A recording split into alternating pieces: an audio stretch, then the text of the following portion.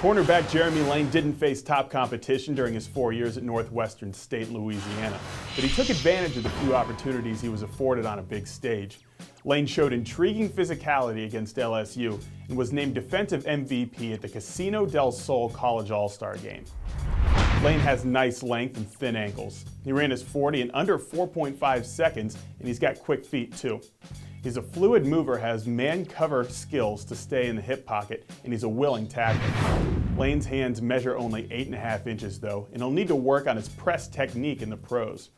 NFL evaluators are often turned off by both the competition he faced and the fact that he only started a season and a half.